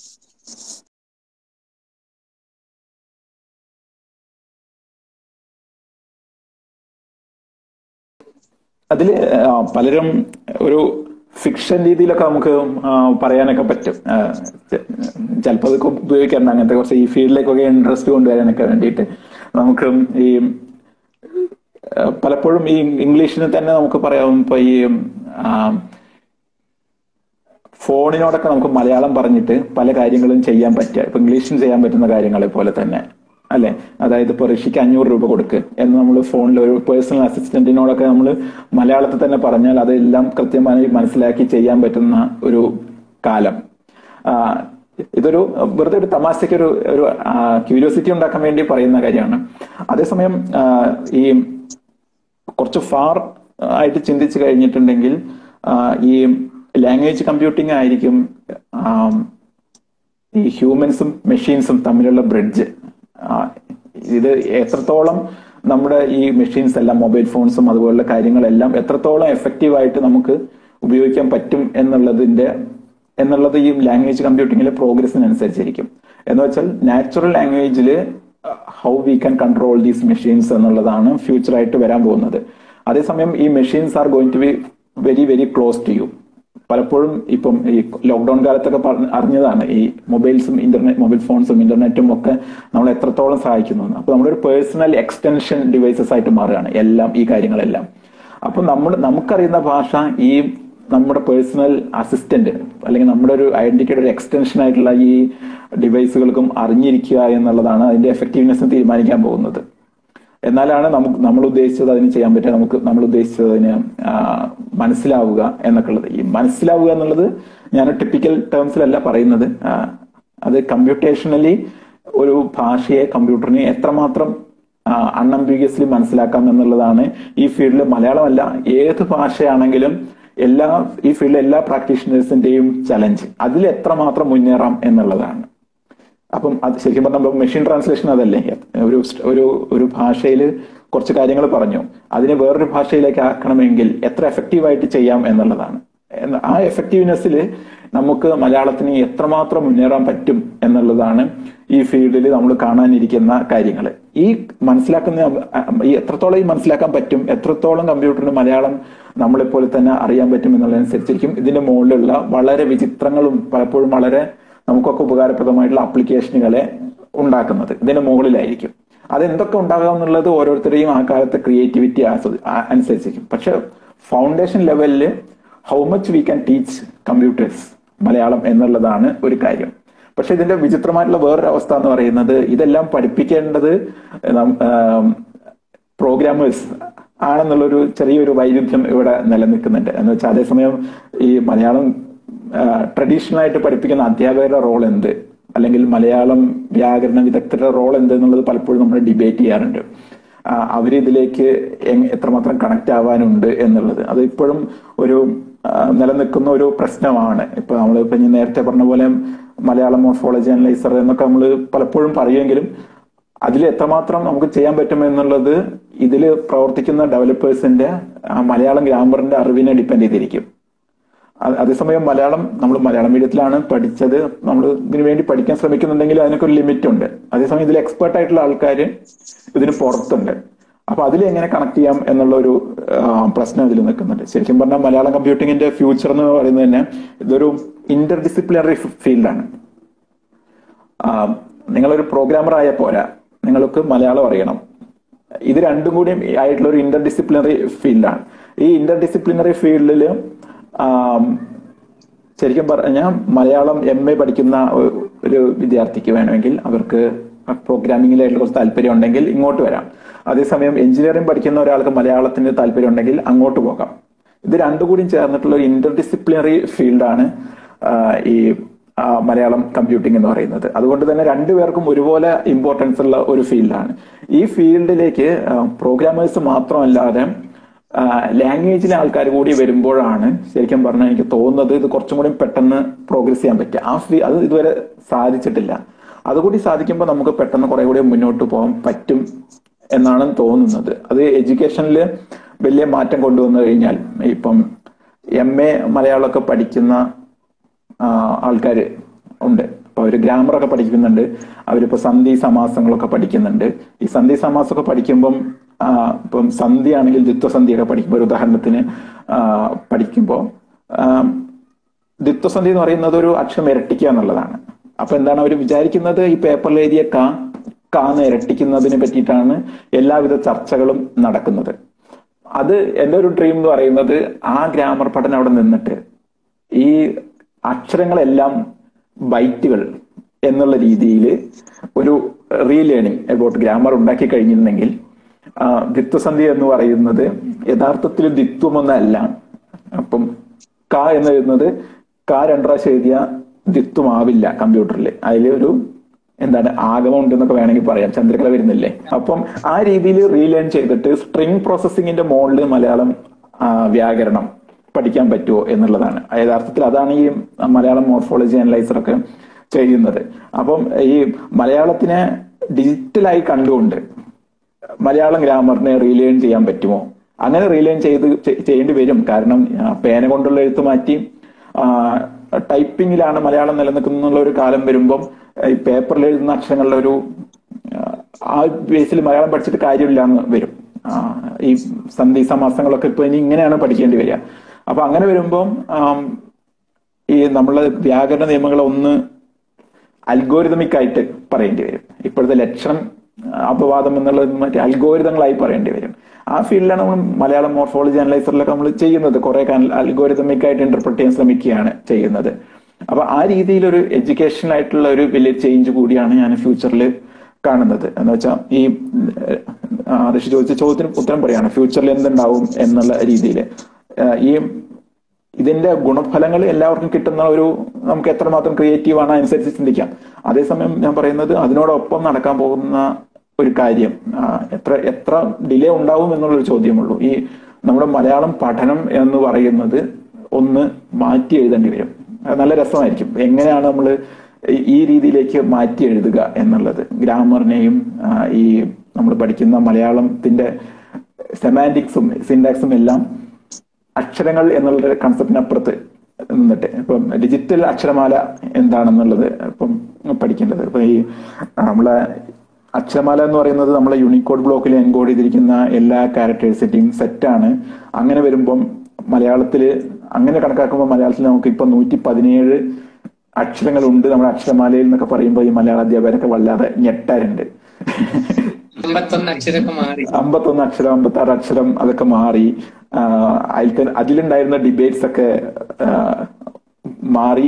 അവിടുന്നൊക്കെ എത്രയോ മുന്നോട്ട് പോയിട്ട് ഈ നൂറ്റി പതിനേഴ് ക്യാരക്ടേഴ്സ് ഉണ്ട് യൂണിക്കോഡിൽ എന്നൊക്കെ പറയുമ്പം അതൊരു ആ ഷോക്കിന്റെ ഒരു ആവശ്യമുണ്ട് എന്ന് കൂടി വേണമെങ്കിൽ പറയാം. ഒരു ഒരു എന്താ പറയാ അങ്ങനത്തെ ഒരു ഷോക്ക് വന്ന് വരാൻ വരും എന്നാണ് തോന്നുന്നത്. അപ്പൊ ഈ രണ്ട് ഫീൽഡിലാണ് മാറ്റം വരുന്നത്. മൂന്നാമത് ഈ യൂസർ യൂസേഴ്സ് യൂസേഴ്സ് ഒരു ഷോക്ക് ചെറുതായിട്ട് വന്നുകൊണ്ടിരിക്കുന്നുണ്ട്. അതായത് ഈ കമ്പ്യൂട്ടറുകളുടെ ഒരു ഭാഷ ഇംഗ്ലീഷ് എന്നുള്ള ഒരു രീതിയിലായിരുന്നു നമ്മൾ സാംസ്കാരികമായിട്ട് തന്നെ ശരിക്കും പറഞ്ഞാൽ നമ്മൾ ഇംഗ്ലീഷിനോടുള്ള ഒരു സ്വീ സ്വീകാര്യത ഇംഗ്ലീഷിന്റെ സ്വീകാര്യത ഈ ഒരു കാര്യങ്ങളൊക്കെ കൊണ്ടുവന്നതാണ് ടെക്നോളജിയുടെ ഭാഷ ഇംഗ്ലീഷാണ്. ഫ്യൂച്ചറിലെല്ലാം മെഷീൻസും കമ്പ്യൂട്ടറും ഇന്റർനെറ്റും ഇതെല്ലാം ഇംഗ്ലീഷ് ആകും എന്നൊക്കെ വിചാരിച്ചിരുന്ന ഒരു ഒരു അവസ്ഥയിലാണ് നമുക്ക് പലപ്പോഴും ഇംഗ്ലീഷിനോട് ഒരു മലയാളത്തിനേക്കാളും ഉപകാരമുള്ള ഒരു ഭാഷ എന്നുള്ള രീതിയിലും അങ്ങനെയൊക്കെ തോന്നുന്നത്. പക്ഷെ അത് പല അങ്ങനെ വരുമ്പോൾ പല ഡിബേറ്റ്സ് നടന്നൊക്കെ ഓർമ്മയില്ല? മലയാളത്തിന് ഭാവി എന്താവും? മലയാളം പ്രിന്റിംഗ് ഉണ്ടാവില്ല അങ്ങനെയൊക്കെ പോയിരുന്നു. പക്ഷെ അതെല്ലാം മലയാളം വേറൊരു രൂപത്തിൽ ആക്റ്റീവായിട്ട് തന്നെ ഇംഗ്ലീഷിന്റെ പാരലായിട്ട് തുടർന്നു പോവുകയാണ് ചെയ്യുന്നത്. അപ്പൊ അങ്ങനെ വരുമ്പോൾ നമ്മുടെ ഭാഷയ്ക്ക് തന്നെ പുതിയൊരു അവതാരം ഈ സ്പേസിൽ ഉണ്ടായി വരുന്നുണ്ട്. അതിന്റെ അതിന്റെ അതിനെന്തൊക്കെ സംഭവിക്കും എന്നുള്ളത് വളരെ ഇൻട്രസ്റ്റിംഗ് ആയിട്ട് വാച്ച് ചെയ്യേണ്ട ഒരു കാര്യമായിരിക്കും ഫ്യൂച്ചറിൽ അത് പല രീതിയിലും നമ്മൾ വിചാരിക്കാത്ത രീതിയിലാണ് ഭാഷ ഇന്റർനെറ്റിൽ വളർന്നുകൊണ്ടിരിക്കുന്നത്. ടെക്നോളജി അല്ല പക്ഷെ ഞാൻ പൊതുവിൽ ഈ ഫ്യൂച്ചറിനെ പറ്റി ചോദിച്ചതുകൊണ്ട് പറയുകയാണ്. ഇങ്ങനെയൊക്കെ എന്ന് വെച്ചാൽ ഭാഷ മാറുന്നതിനനുസരിച്ചിട്ട് നമുക്കും നമ്മുടെ ഐഡന്റിറ്റി ആണല്ലോ ഭാഷ. അപ്പൊ അതങ്ങനെ രീതിയിൽ ആ രീതിയിൽ കുറെ മാറ്റങ്ങൾ വരും. പിന്നെ വരാൻ പോകുന്ന വേറൊരു രസകരമായിട്ടുള്ള ഒരു കാര്യം കുറച്ച് ഒപ്റ്റിമിസ്റ്റിക് ആയിട്ട് ചിന്തിക്കാൻ പോലും പറ്റാത്ത തൽക്കാലം പറ്റാത്ത ഒരു കാര്യം എന്ന് പറയുന്നത് ഈ അത് ഞാൻ പലപ്പോഴും എഴുതിയിട്ടുള്ളതാണ് ഈ അൽഗോരിതങ്ങൾ അൽഗോരിതങ്ങളുടെ കാര്യത്തിൽ നമ്മുടെ പല കാര്യങ്ങളും കാര്യങ്ങളെയും എന്ന് വെച്ചാൽ ഈവൻ നമ്മുടെ സിറ്റിസൺ സിറ്റിസൺഷിപ്പ് ഐഡന്റിറ്റി നമ്മുടെ നിലനിൽപ്പ് നമ്മുടെ റേഷൻ ഇതുപോലുള്ള പല കാര്യങ്ങളും അൽഗോരിതങ്ങൾ തീരുമാനിക്കാൻ തുടങ്ങും. ഇപ്പൊ തന്നെ ആയി. അൽഗോരിതങ്ങൾ തീരുമാനിക്കാൻ തുടങ്ങും. അപ്പൊ ഈ അൽഗോരിതങ്ങൾ തീരുമാനിക്കാൻ തുടങ്ങുമ്പം ഈ അൽഗോരിതങ്ങൾ അൾട്ടിമേറ്റ്ലി അതിന്റെ ഇൻപുട്ട് എന്ന് പറയുന്നത് കുറെ പേരുകളായിരിക്കാം. നിങ്ങളുടെയൊക്കെ പേരുകളായിരിക്കാം. നമ്മുടെയൊക്കെ അഡ്രസ് ആയിരിക്കാം. ഇതെല്ലാം ഇംഗ്ലീഷിനപ്പുറത്ത് മലയാളമൊക്കെ ആകുമ്പോൾ ആ അൽഗോരിതങ്ങൾ എത്രമാത്രം എഫക്റ്റീവ് ആവും എന്നുള്ളതനുസരിച്ചിട്ട് നമ്മുടെ കാര്യങ്ങളൊക്കെ തീരുമാനിക്കപ്പെടും. അത് അതിന്റെ വളരെ ഒരു ചെറിയൊരു പ്രിവ്യൂ ഒക്കെ നമ്മൾ പാൻ കാർഡ് ആധാർ ലിങ്കിങ്ങിൽ നമ്മൾ കണ്ടു കഴിഞ്ഞു. എത്രമാത്രം ഹൊറിഫിക് ആവും എന്നുള്ളത്. നമ്മുടെ പേര് എഴുതുമ്പോൾ അതിന്റെ സ്പെല്ലിങ് അതിന്റെ കുത്ത് ഇതൊക്കെ എത്രമാത്രം ആവും എന്നുള്ളത് ഇപ്പൊ റേഷൻ കാർഡിലും നമ്മളെ പേരൊക്കെ മലയാളത്തിലും ഒക്കെ ആവുമ്പോഴും ആധാർ തന്നെ ആധാർ കാർഡിൽ നിങ്ങളുടെ മലയാളം എങ്ങനെ എഴുതിയിരിക്കുന്നു എന്നൊക്കെ ആലോചിച്ചാൽ നിങ്ങൾക്ക് മനസ്സിലാവും. ഇതെങ്ങനെയാണ് നമ്മുടെ ഫ്യൂച്ചറിലെ എങ്ങനെ നമ്മളെയൊക്കെ എഫക്ട് ചെയ്യാൻ പോകുന്നത്? എന്ന് വെച്ചാൽ ഒരു ജീവൻ മരണ പ്രശ്നങ്ങളായിട്ട് ഈ അൽഗോരിതങ്ങളും ഭാഷയും തമ്മിലുള്ള എഫക്റ്റീവ്നെസ്സിനെ വല്ലാതെ ബാധിക്കും. അപ്പൊ ഈ ഫീൽഡിലുള്ള അൽഗോരിതങ്ങൾ എത്രമാത്രം പെർഫെക്റ്റ് ആവും? അത് എത്രമാത്രം ഹ്യൂമൻ സൈഡിലായിരിക്കും അതോ ചാൻസ്